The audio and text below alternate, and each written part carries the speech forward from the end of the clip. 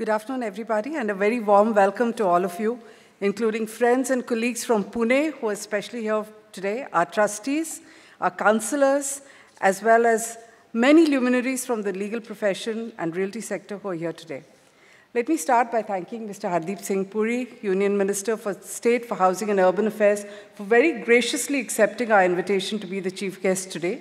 He's had a very busy schedule, early day, and unlike most ministers as well as bureaucrats, he has absolutely no ego. So for the last half an hour, most of my team has been a little in state of shock because they say, why is this minister not got this entourage with him and he just manages to come here and surprise all of us? So they're pains to tell me, ma'am, we were there, but he just came. Okay? We love that. And thank you very much for being who you are.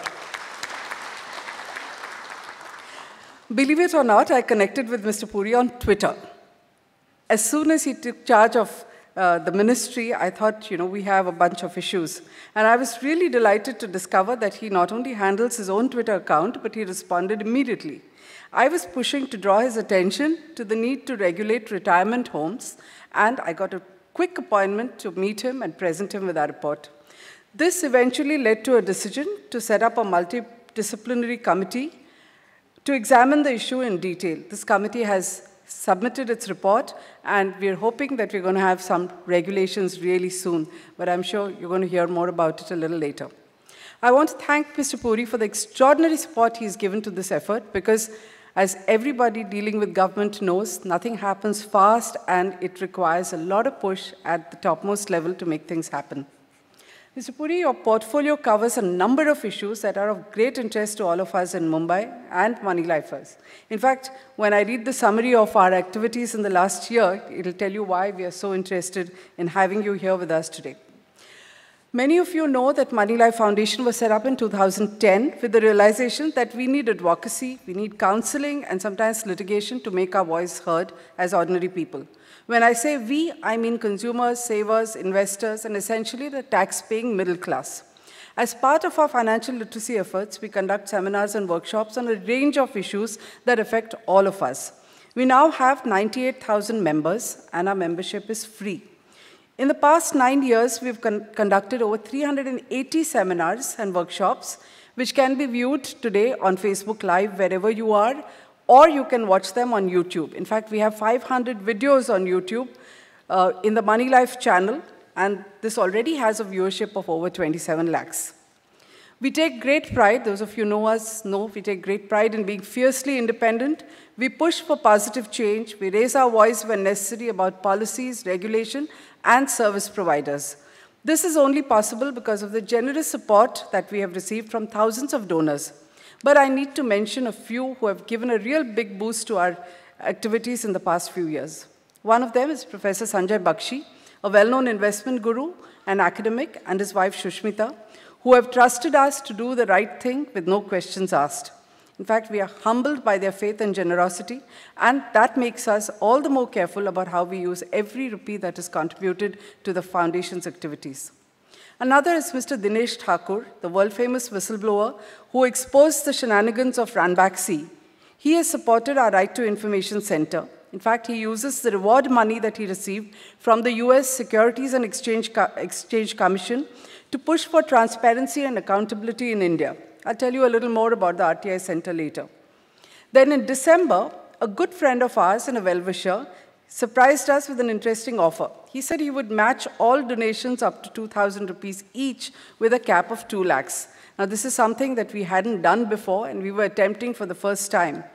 I must tell you that we are completely floored and touched by the enthusiasm with our, which our members have responded. And since our activities, especially are Mumbai centered, we are really encouraged that the support came in from all over the country. I really want to thank all of you for your trust and for contributing to make us a powerful voice on your behalf. Now, let me highlight a few of our activities in the last year. We had a big breakthrough through our public interest litigation at the Supreme Court on banks gouging unfair charges from individual borrowers on floating rate loans. We were forced to go to the apex court when a long campaign about unfair bank charges and repeated representations to the Reserve Bank of India fell on deaf ears. In fact, the RBI was ordered to respond to us in six weeks after we went to court. It did, in fact, a couple of days after, but it ignored most of our issues. Then, a couple of weeks later, it accepted a part of our plea by announcing that banks will now have to peg their lending rates to an external benchmark instead of the practice of creating self serving internal benchmarks that have been cheating borrowers. In fact, our petition put the ripoff that borrowers have faced at a stupendous 43,000 crore. In fact, this shows you how much we people, you and I, the borrowers, have been paying, paying off the bad loans of large industrialists because that money comes from us. The new benchmark was supposed to kick in in April this year, but banks are lobbying hard against, against it, and we are a little in shock to discover that the RBI is now waffling again. In fact, every fight, we think it's a victory, but it's a hard and demoralizing fight because banks and lobbyists always have the uh, ear of policymakers, leading to a kind of regulatory capture. But don't worry, we are not giving up, and we'll probably be back in the Supreme Court very shortly.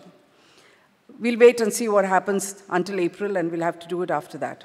We are deeply grateful to our friend and supporter, the brilliant senior counsel, Shyam Divan, who took up our case on a pro bono basis. Mr. Srinivas Marathe, a former banker, did the deep background research and innumerable RTI queries to support this petition. Debashis Basu, our founder trustee, worked with Mr. Marathe at the number crunching and with the legal team to help us draft this petition. India needs to prepare for an aging population. You have read in the papers that we are now getting older as a country, which means that we need appropriate facilities and regulation.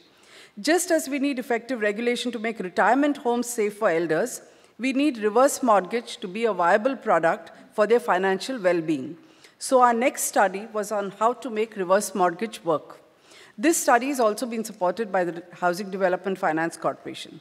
Now, reverse mortgage is a product that allows you to draw down the value of your existing house in the form of a monthly income, while you and your spouse can continue to live in it for the rest of your life.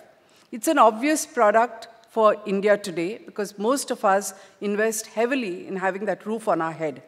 And although this product was launched in India 10 years ago, it remains largely unknown and very unattractive. So Mr. Srinivas Marathe and Mr. Pradeep Bhave, two former bankers, took up this research for us and have delivered an excellent study with inputs from various experts as well as global research that we obtained through Advocates for International Development and the legal firm of White and Case who gave us all this help on a pro bono basis. We will be releasing this report very shortly at the hands of Mr. Puri. While we conducted 40 odd seminars and workshops last year on diverse subjects, a few broad areas need special mention. Our RTI Center has gone from strength to strength with the support of Mr. Dinesh Thakur. This effort was led with great enthusiasm by former Central Information Commissioner and RTI evangelist Shailesh Gandhi. We also had the benefit of workshops conducted by two eminent RTI activists, Anil Galgali, who has mastered civic issues, and Mr. Suleiman Bimani, who guides people on a wide range of real estate issues. Vinita Deshmukh, our advisor at Money Life Foundation, is also an RTI expert and has helped spread awareness with her weekly column on RTI. She's also helped us organize several seminars in Pune. The RTI Center reached out to special groups such as journalists, NGOs, students across Mumbai and Pune, and the police, especially the Civil De Defense Department. We also had three RTI sessions with the Maverick Central Information Commissioner, Dr. Sridhar Acharyulu, in Mumbai and Pune. In fact, our first RTI annual lecture was delivered by Justice A.P. Shah. It was a resounding success, with Punekars giving him a standing ovation. On the financial literacy front, we had two major workshops at the police training schools at Akola and Dhule. My colleague Yogesh Sapkale and former banker Mr. Abhay Datar conducted these successfully with support from the Reserve Bank's Depositor Education and Protection Fund. Our daily guidance clinics remain extremely popular. On Tuesdays, we have sessions with Mr. Sirish Shanbag, and they're packed and often go on for four hours. Mr. Shanbag is amazingly knowledgeable on issues relating to housing, cooperative societies, redevelopment, and conveyance.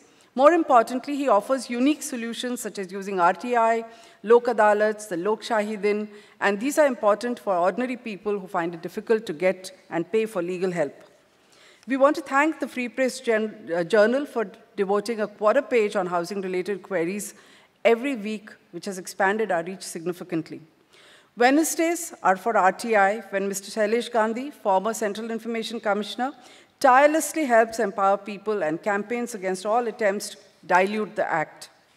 On Thursdays, Mr. Abhay Datar and Mr. Ajit Shenoy provide guidance on a wide spectrum of consumer issues, just about any consumer issue that you can think of. Mr. Shenoy is also an accredited MahaRERA counselor and guides people on how to approach RERA for counseling. So if you need to approach that, think about Thursdays, and all this is free. On Fridays, Mr. D.G. Kale, a retired Chief General Manager of the Reserve Bank of India, guides people on banking and credit-related issues. He's been there 20 years, so anything that you need on banking, please take advantage of it. Along with our trustee and former deputy, RBI Deputy Governor, Dr. K.C. Chakravarti, he also is an important sounding board for us on banking-related issues. In fact, their support to us is a great validation of the work that we do. My colleagues Yogesh Sapkale and Akshay Nayak anchor our two helplines. So we have a credit guidance helpline, which is supported by Capital First. We also have a legal helpline, which is supported by the H.T. Parekh Foundation. Again, these queries are free. They're answered by our counselors and our trustees. Finally, let me mention two other initiatives which gave us all a lot of uh, satisfaction at MoneyLife. We ran a campaign to provide non-cash support, largely medicine, to victims of the Kerala flood. We coordinated with the Vivekananda Kendra at Thrissur and sent over 3,000 kgs of material to affected people. The agrarian crisis in Maharashtra touches all of us. So when we saw a heartbreaking video of a farmer called Bandu Market destroying his pomegranate crop because he it fetched a pittance, we decided to highlight his plight and raise funds to help him pay his water bills for the last season and the next. We were really touched to see people open their hearts to him, and in just a few days, we had raised over 2 lakh rupees. But what was more interesting here is that another person called Sharad Markat, a local leader, joined up and said, why not use this money to help a lot of other distressed farmers? It also created a sort of local impact with people in the neighborhood chipping in, and they went on to help many other farmers. Bandu, of course, readily agreed, and they even set up a fodder camp which went beyond water for themselves, but also for their cattle. Finally, two announcements. We're all set to take our fight with Life Insurance Corporation on the gross mis-selling of its Jeevan Saral product to court. If you know senior citizens who stand to lose money on Jeevan Saral, now's the time to write to us, so please write to foundation at moneylife.in. Advocate Jamshid Mistry, a special invitee to our board, is assisting us with this process. We've also joined hands with several leading NGOs to work on senior citizen issues to form an informal pressure group. This group has benefited from the knowledge and guidance of Mr. Sailesh Mishra of Silver Innings Foundation and Dr. Rekha Bhatkande, former Dean of Shushruta Hospital, among many other NGOs. The group submitted a joint memorandum to the Ministry of Social Justice with suggestions on proposed amendments to the Maintenance and Welfare of Parents and Senior Citizens Act. We look forward to a positive outcome here too. And we are looking forward to even working with the Maharashtra government to make some changes here because, as I said earlier, we need to start preparing for a more older Indian population. If you're not yet a member of Money Life Foundation, I would urge you to join now. Our activities are absolutely free for members. Our daily clinics and helplines will protect you financially or empower you to fight for your rights. Only when we get together will we have a voice that is heard by policymakers. We take great pride in getting unstinted support and valuable guidance from our trustees. Given the kind of work we do, I think it's important and we also are very proud of having persons of very high integrity and independent thinking as our trustees. Let me close by thanking Ashish Chauhan, MD and CEO of the Bombay Stock Exchange, for giving us this historic convention center once again. As he said, we are not always on the same side of the fence, and it's really kind of him to keep that aside when he supports what we do. Suleiman Bimani and his citizens Justice Forum, the World Zartushti Chamber of Commerce, the Indian National Bank Employees Federation, and others, as well as our media partner, Free Press Journal and Softcell Technologies, have also been very supportive in organizing this event. Naturally, none of this was possible without the support from all our colleagues, which means my colleagues in Money Life magazine, as well as the financial advisory, who all chip in to make this day a big success. I now make way for the release of the reverse mortgage report, and I'm asking my colleague to take over.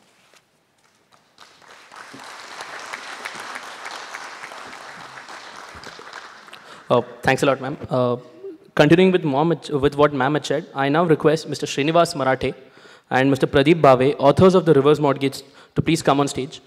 And also request Mr. Yogesh Sapkale to be present on the stage so that we can hand over the report to the minister to inaugurate. Can we have a huge round of applause for that?